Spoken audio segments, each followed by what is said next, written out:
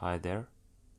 This video will be about my first assignment of my SPH 4U course, which are mainly two questions.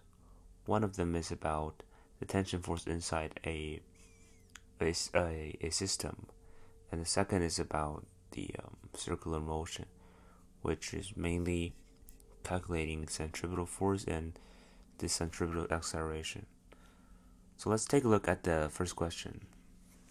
It says that two heavy crates M1 and M2 lies on the different inclines with um, angle 18 and 33 degrees respectively, and a cable which runs over a pulley connects the crates. And the masses of the cable and pulley are negligible, and assuming that the, um, each incline is frictionless and that the system is in equilibrium. The mass of M1 is 4.26 times the 10, the power of 10. The sorry, the square of 10 kilograms. So one thing to notice is because the system is in equilibrium, that the net force in two sides should be zero. So let's take a look at question A. It says determine the tension in the cable, while B says to calculate the mass of the second mass, which needed to keep the system in a state of equilibrium. Last one is to like to suppose that to change the mass and the system moves to the left, which other conditions remain the same, and to determine the magnitude of acceleration. So let's solve the first question, the tension in the cable first. Well, as I mentioned, because the system is in equilibrium, so the net force X, um, here is, uh, it means that the net force in the X come the X direction.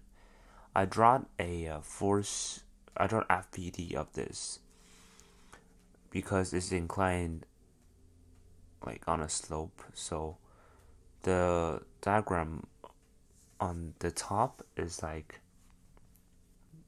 the truly nature of the diagram. Like it's supposed to be like this. Well, I re- well I relabeled the axis, which the graph on the bottom is in horizontal and vertical directions, which is more easier to indicate. Well, by applying GISP method, we can know that the FGX1, which means the x component of FFG of the of mass 1 equals to sine 18 times 4.26 times 10 squared times 9.81 because it equals to the angle the horizontally um, component times the mass and 9.81 is the gravitational acceleration. And, and this question is asking the um, tension inside the force. No the, the, the tension force. So in this case ft should be equals to fgx because it's in the equilibrium. Well by substituting the values that ft equals to all these values that I mentioned before which after calculation the answer is um 1291.4 newtons. And the angles is just like because I relabeled axis so it seems to be horizontal but actually has a little bit of incline which is the same as the incline of a slope which is night um which is right pointing right and 18 degrees up well, let's take a look at the second question, which it says to calculate the mass of M2 needed to keep the system in a state of equilibrium.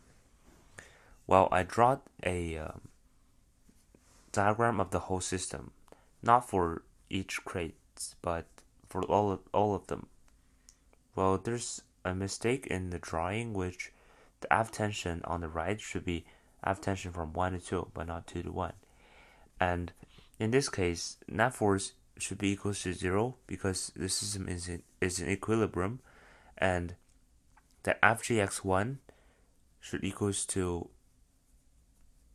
FGX2 because um, the tension, the two tension are the same, same in magnitude but different in direction, which they eliminate, which they um, equals to each other, and they could be eliminated. Well, FGX1, um, in S in S part, we substitute the values, and FGX1 equals to 90, uh, to 1291, which we calculated on the previous question.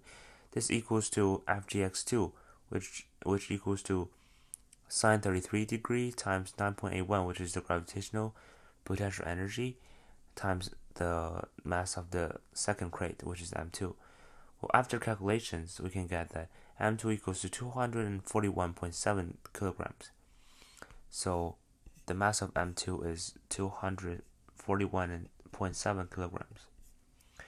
And for the third question, question C, it supposes that the mass of M1 is 4.26 times 10 the square of 10 and the mass of the second crate is 1.995 times the power of um yeah power of 10 and it says the crate moves to the left. So the angles and other conditions are the same which is fric frictionless.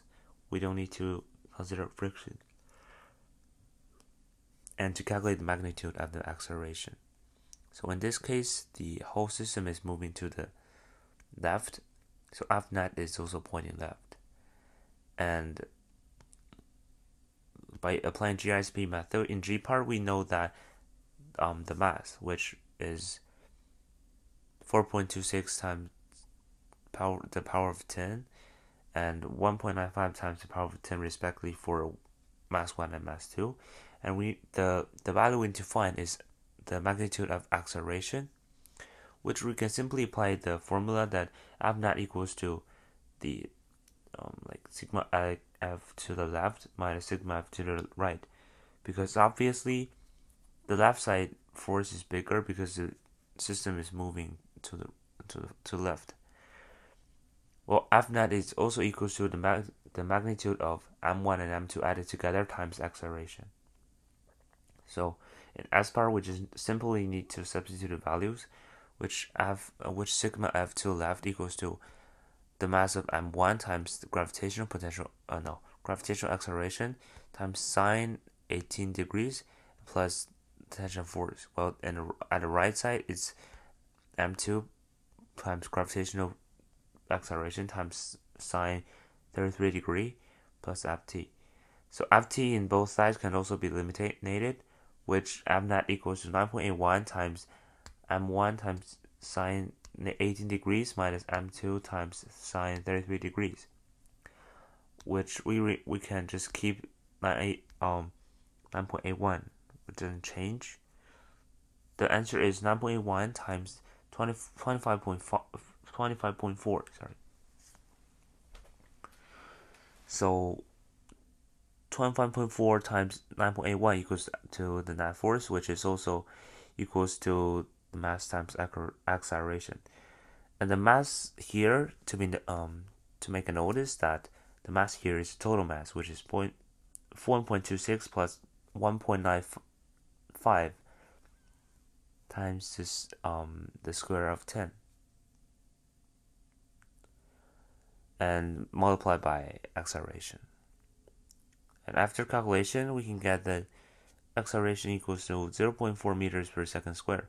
So the magnitude of acceleration is 0.4 meters per second square.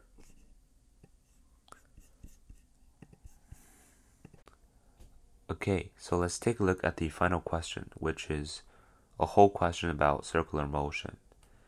It says, suppose Earth turned with a greater rotation speed to determine what the period of rotation in hours must be for the centripetal acceleration to equal to g, which g here is the gravitational acceleration, um, and it's 9.81 meters per second square. So the radius at Earth's equator is 6.378 times 10 to the power of 3 kilometers. And to be noticed that the period of rotation is in hours, but not in second.